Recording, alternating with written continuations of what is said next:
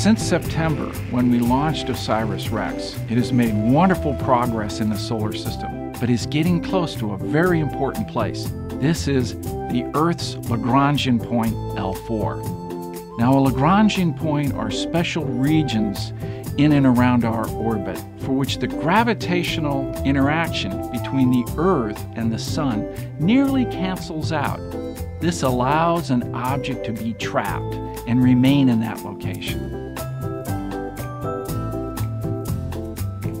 So, what's trapped at L4? Well, we don't really know.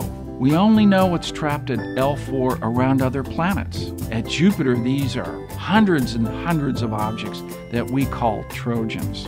And so at Earth's L4, if we find anything, we'll be calling them Earth Trojans.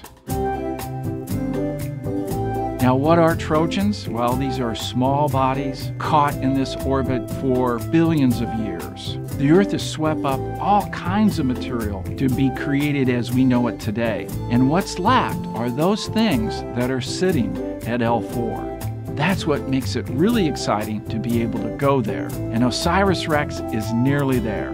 Beginning February 9th, OSIRIS REx is going to turn on its scanning camera. It's going to scan the areas, it's going to look for these objects.